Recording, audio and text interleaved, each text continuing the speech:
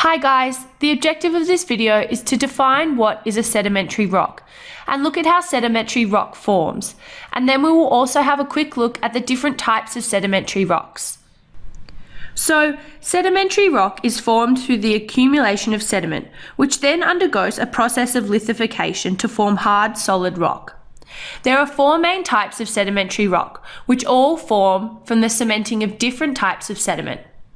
Clastic sedimentary rock is made from fragments of weathered rock called clasts. Biochemical sedimentary rock is made up of shells which are cemented together. Organic sedimentary rock is formed by the accumulation of organic matter, including plants and animals, which are then altered underground. And finally, chemical sedimentary rock is made up of minerals that crystallize and precipitate directly from water.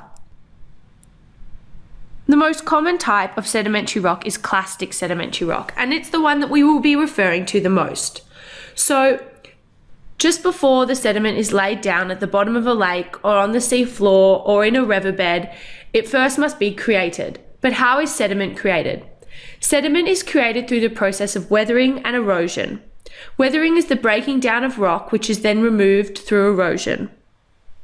Weathering can either be physical or chemical, and it forms something that we call detritus, which is just the broken up rock. Erosion is then the removal of this weathered rock from the site of the source rock.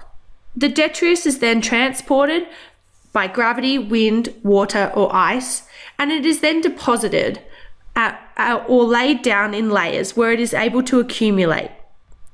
This sediment can then be buried under many more layers of sediment and is compacted. This compaction squeezes all the water out of the sediment. The sediment, after it is being compacted, undergoes a process of lithification, where it is cemented together by minerals that precipitate out of the groundwater. These minerals that precipitate out of the groundwater can be quartz or calcite or a few different other types of minerals. An example of clastic sedimentary rock is sandstone.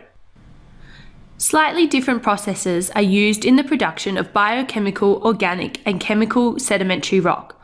But firstly, biochemical sedimentary rock.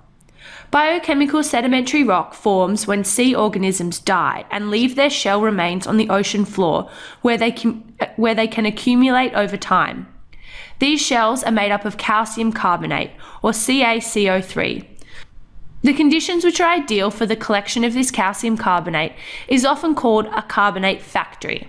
And these conditions include warm oceans, which are tropical or subtropical, with normal salinity of the marine water, which are wave agitated and oxygenated and often shallow waters. A good example of this type of environment, which actually exists today, would be the Great Barrier Reef. This accumulated carbonate is then covered and undergoes lithification much the same as the clastic sedimentary rock. This process is known to often produce a rock called limestone. Now to look at organic sedimentary rock. Organic sedimentary rock forms from the accumulation of organic matter, that is plants and animals.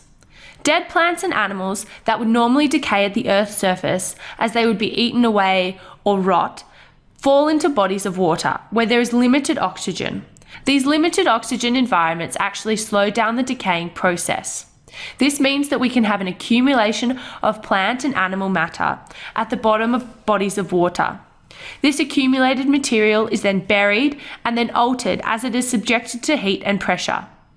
This process is known to concentrate the carbon within the carbon rich organic matter and it often produces something that we call coal.